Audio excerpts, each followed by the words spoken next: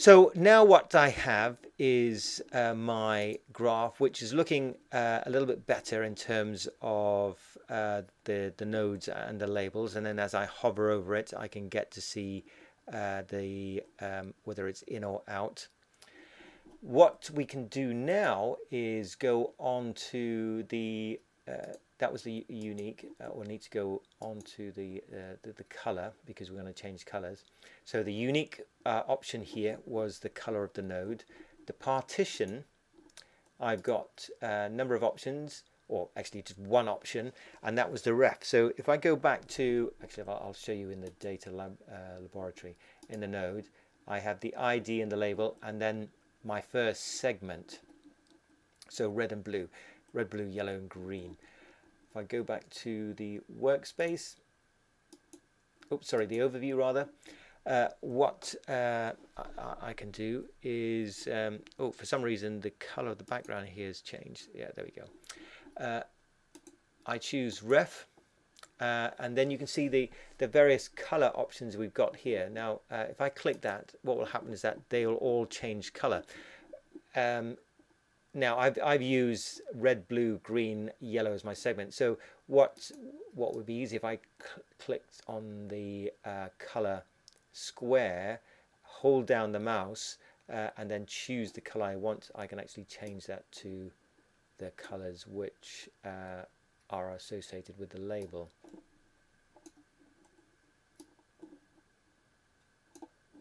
Now click uh, apply again, uh, and there we go you can see the labels, although it's quite difficult to read the blue, so um, may put a slightly lighter blue in there. Yeah, that's a, that's a little bit better. So the, the, this shows me the, the different segments uh, of uh, the, um, the nodes that are being used. So these could be um, nationalities, say, you know, we've got um, four different nationalities out there taking part in this social network. The, the ranking you have uh, in de or degree, in degree, and out degree uh, that you can use. So remember uh, on the Excel chart, I'll just jump to the Excel chart and go to the overview. We had the degrees, so both in degree and out degree, and we saw seven was the highest, uh, two and five the next, uh, and the lowest are, are 11 and 12. So if we were to choose uh, degree as the ranking, you get uh, first of all a color option. And what, what this is signifying is that uh, on to the left uh, is the um, the color associated with the lowest degree value and to the right is the color associated with the highest degree value. So when I click apply you can see 7 uh, 2 and 8 or the, the uh, 2 and 3 rather the, the, the highest colors. Uh, I go back two and five. That's what two and five. Yeah, yeah. Five is um, uh, a, a, nice strong color in there. Um, what you will also uh, note is that the the ones with no labels they are the the the, the lowest color at the end there. Now they're the same shade of green, so sometimes it's a bit difficult to um, uh, to interpret what would be better would be to get a palette which has different colors. And the way to do that is just on the right hand side you've got uh, some options. You've got the default uh, the invert or the recent. Uh, let's go to the default and we'll go right to the very bottom. And then click apply. Uh, and here you can see the um, red uh, low levels of degree uh, and blue high levels of degree. And you can see that these this is how the process fits within the, um, the social network. I could do the same for the, uh, the in degree. Uh, let's use uh, uh, another palette. Let's do that one there. And out degree. So depending on what you're looking at, um, you could choose various colors. Oops to represent the level of degreeness both in, out or uh, total. And it just helps you map the, um, the, the, network. So that's the options with the uh, nodes. Now if we go to the edges, you've got the same option here. You've got the unique, the, the color of the edge. So if I just change that to, uh, let's do green, then apply, you can see the, um, the, edges go uh, a different color. Let's go back, it's quite, quite garish that. Um, let's make it blue. Okay, so we've got that blue. Then we got the, the partition, so we can choose uh, how we want to do. We've got ref 1 and ref 2. So ref 1 was the, if you remember, the uh, the actual name of the uh, label. So I put ref 1 as urgent info request, etc.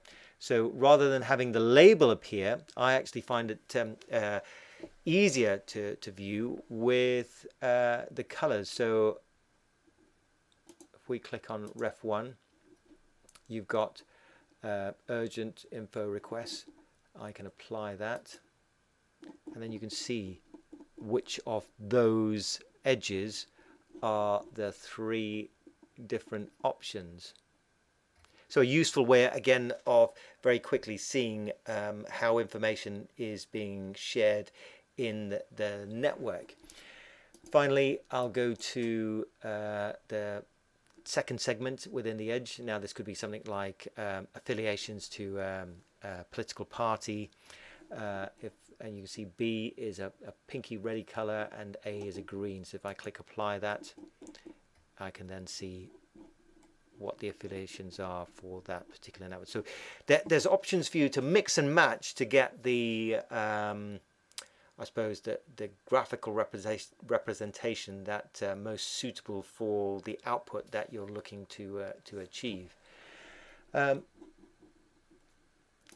ranking its weight. Now, in this instance, all the weights were 1, so nothing really is going to change. So I'm not going to do anything. I, I, will come back later on and, and when I'm doing the, uh, the work on the uh, the statistics elements, go back to the weight because I'll, I'll give some some different options uh, in in this um, in this case. So we'll go back to partition and let's just do um, well. Actually, we'll, we'll leave it as that. That's fine.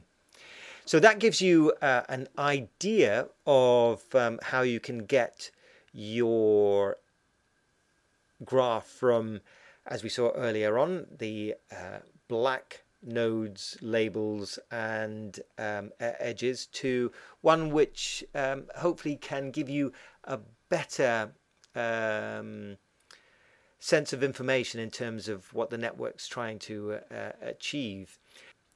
Now, I mentioned earlier on there isn't uh, an undo option within um, Gephi, but uh, there is a, an ability to reset the colors but they all go into one. So where, where it's got reset here you can see the background color there is gray. So if I click on that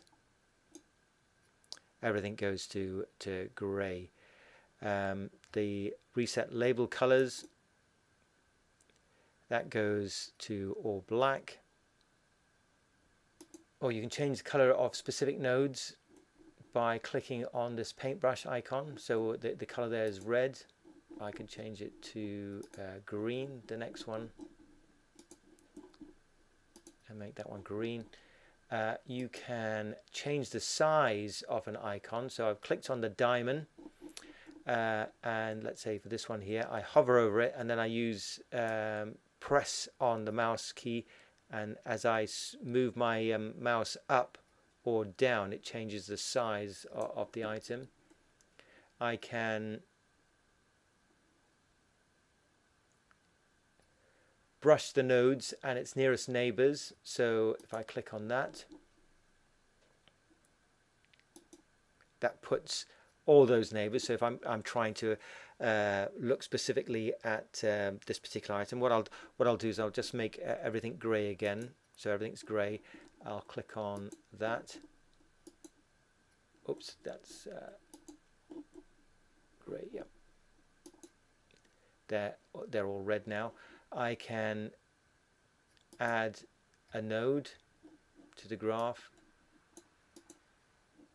So I've clicked on that and then I can add an edge.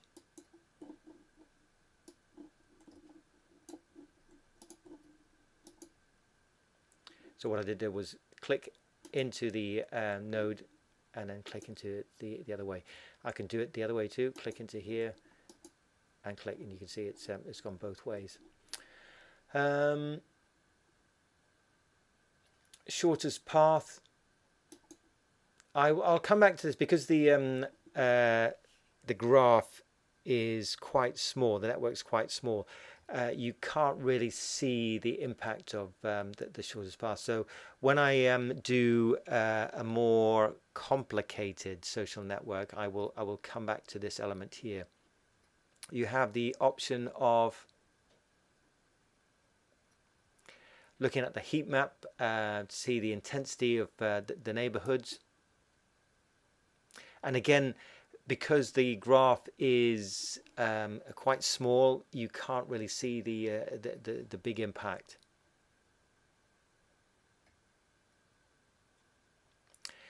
And then finally, you can edit some of the um, uh, the node attributes. So I could um, click on the final one, and then edit the, the attributes uh, in the in the box here, or click on that. So this gives you um, an overall idea of how you can uh, set up your graph before really you start doing the analysis and the um, statistics uh, required to give you uh, some good output for your final journal or report that you're producing within a company.